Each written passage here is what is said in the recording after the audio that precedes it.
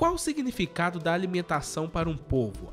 A exposição Alimentícios traz uma reflexão sobre o processo dos alimentos desde seu plantio até a chegada à mesa do consumidor. O conceito foi justamente falar da cultura alimentar, do, do processo da alimentação desde o plantio, o processamento durante o plantio, a secagem do café, a, a, a, a lida com a farinha, até esse processamento na cozinha e do compartilhamento. Então, assim, é tentar pegar que a cultura alimentar ela ela trata de várias teias de relações humanas é, em todos os sentidos, econômicas, sociais. A mostra reúne fotos de diversas regiões de Minas Gerais tiradas ao longo de mais de 30 anos de trabalho da fotógrafa Inês Rabelo a escolha se baseava nos melhores registros, mas Inês explica que o importante para contar a história foram os refugos, fotos que inicialmente não foram selecionadas. Trabalhando o acervo, eu entendi que eu tinha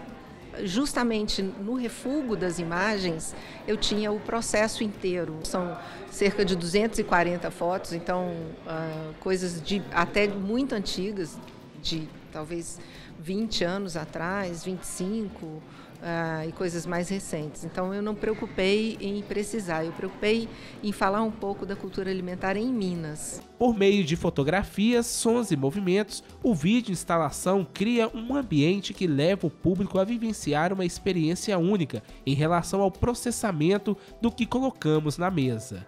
Sem ser uma vídeo instalação, uh, eu não conseguiria tratar tantos temas como eu tratei ah, para que a pessoa entendesse que, que, que, todo o conjunto de culturas, né, digo cultura de, estou falando de café, de, de qualquer outra cultura, ah, é, ele cai na mesa e ele tem seus, suas relações.